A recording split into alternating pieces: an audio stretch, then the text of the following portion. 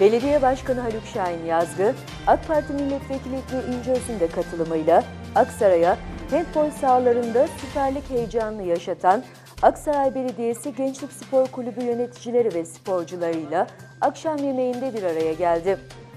Aksaray'ı Handbol Kadınlar Süper Ligi'nde başarıyla temsil eden, galibiyetler alan ve şehrin adını duyuran takım oyuncularıyla tek tek ilgilenen Başkan Yazgı, oyuncularımızı ve teknik heyetimizi kutluyorum.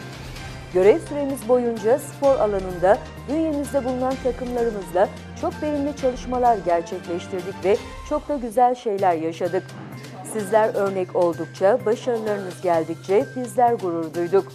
Hocalarımızı, ailelerimizi ve size destek veren taraftarlara hepinize canı gönülden teşekkür ediyorum diyerek başarılarının devamını diledi.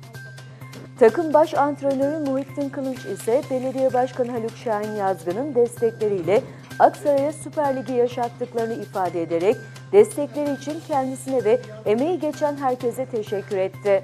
Çekiyoruz.